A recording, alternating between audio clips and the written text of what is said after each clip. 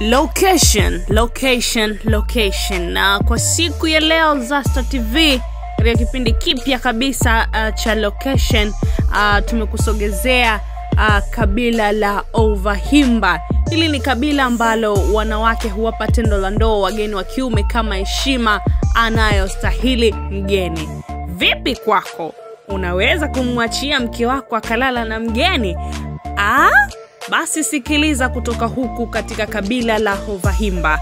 Leo hii jicho langu limeangazia katika nchi ya namibia ambapo kuna jumla ya watu takriban milioni mbili na makabila takribani kumi na tatu ikiwa ni herero damara nama san bushman the, Heroho, the herehoboti the coloreds the whites caprivian kavango topnas swana the himba and the owambo lakini jicho langu limeangazia zaidi kaskazini mwa nchi hiyo katika mkoa wa kunene linapopatikana makabila maarufu sana ambayo ni ovahimba tangu uhuru wa namibia kabila hili bado linaendeleza kuishi kwa kupitia tamaduni na mila na kujiweka mbali kabisa na utamaduni wa kimagharibi. Lakini linashirikiana na watu mbalimbali wa kimataifa ili kukamilisha miradi mbalimbali mbali kama ujenzi wa hydroelectric power huku ikikadiriwa kabila hili ambalo lina imani ya mungu mmoja na mungu wao wanaitwa makuru. Lakini pia kabila la herero linamwabudu mungu huyo lakini kila nyumba ina sehemu maalum ya kuabudu mungu. Huyu anayejulikana mukuru ambapo wanakuwa na sehemu maalum wanachoma moto na mzee wa familia ndio anaenda kuomba. Lakini kutokana mukuru kuwa muda mwingi yuko bize na mbali nao basi wanawatumia wazee wao kijijini huko kama wawakilishi wa mukuru. Maisha ya kabila hili wamejikita sana kwenye ufugaji na kilimo huku utajiri wa jamii hiyo ikiwa ni idadi ya mifugo ambayo familia au mtu anamiliki. Mazao kama mahindi na mtama ndio wanalima sana lakini chakula chao kinatokana na maziwa asali mayai ya kuku na nyama. Kazi nyingi katika jamii hiyo zinafanywa na wanawake kama vile kukamua maziwa kutafuta kuni kupika kulisha mifugo na kadhalika huku kazi kubwa ya wanaume ikiwa ni kuwinda na kukusanya mawindo hayo hali hii inawafanya wanaume wawe wanatoka kwenda masafa marefu kutafuta wanyama wa kuwawinda.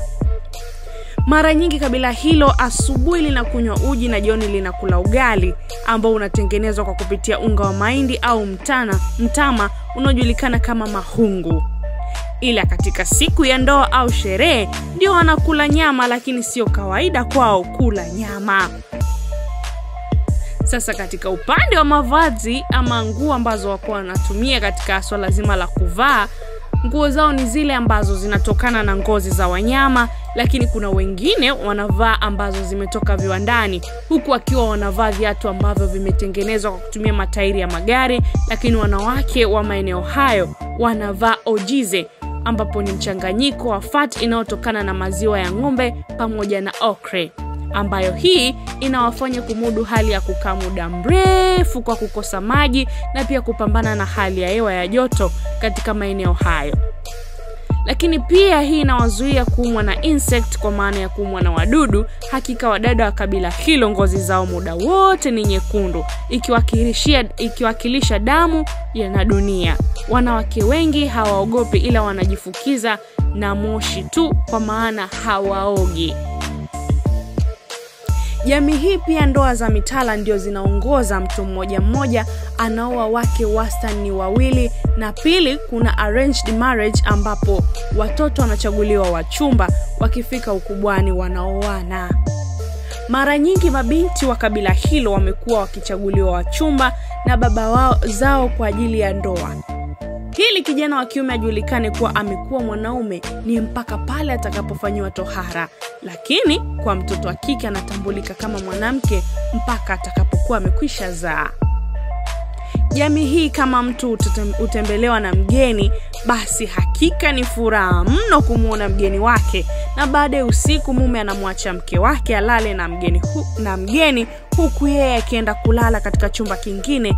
Kama hakuna basi ataondoka ili kuacha kitendo hicho ambacho kinajulikana kama oku, okujepisa omukazendo. Huku sababu kubwa ikiwa ni kumkaribisha mgeni. Vipi kwa upande wako, uko tayari kumwacha mkeo alale na mgeni? Eti kisa ni upendo, ama mwanamke kumkaribisha uh, kumkaribisha rafiki yake kwa kumwachia mumewe? Achilia komenti yako hapo, nasi Zasta TV tutaweza kupita nao. Jina langu ni Emy Jovin. Kama bado hujasubscribe, fanya kusubscribe Zasta TV, na mwisho siku mambo yatajipa zaidi.